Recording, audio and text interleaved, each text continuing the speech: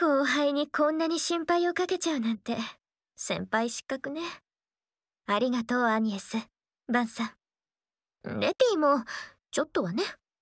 もっと先輩の助けになれたらとずっと思っていました。これもバンさんのところで少しは成長できた証でしょうか。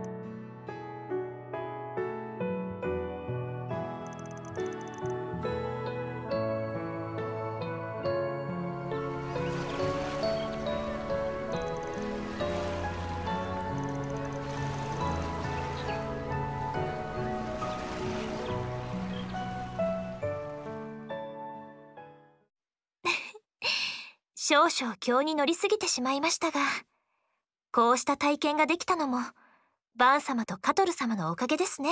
僕もおかげで自信がついたよ。ありがとう。えっとこれからもいろいろと教えてくれると嬉しいかな。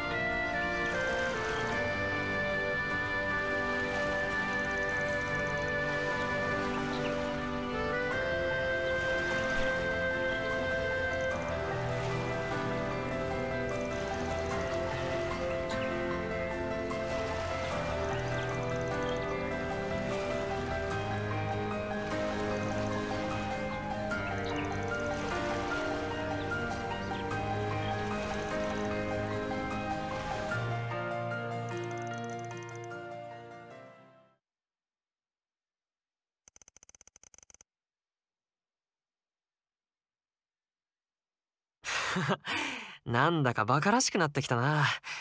せっかくだしもう一戦やらないか。今度はスーちゃんと同じチーム。なーちゃんたちのコンビは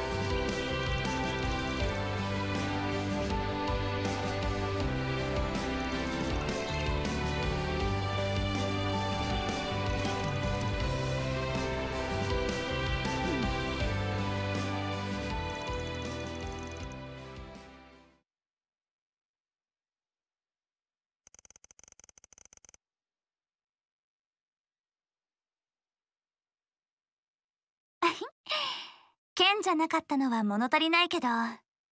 おかげで目いっぱい楽しめたかな。バンにも一泡吹かせられたしね。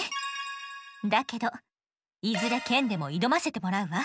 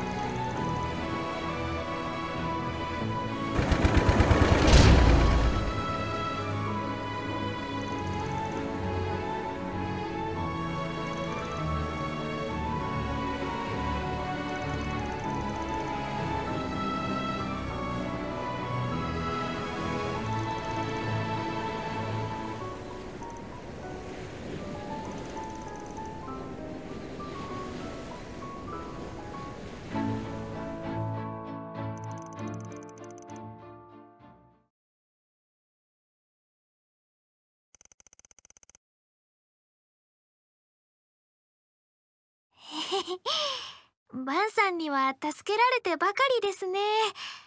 前の助言も含めていつか恩返しさせてもらいますから。バンさんとお近づきになれて嬉しいです。兄やナージャさんともども今後ともよろしくお願いいたしますね。